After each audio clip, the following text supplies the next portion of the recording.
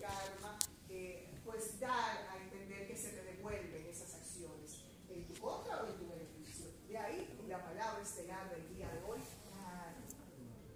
karma. calmémonos entonces, 7.46 minutos, estamos en revista, hora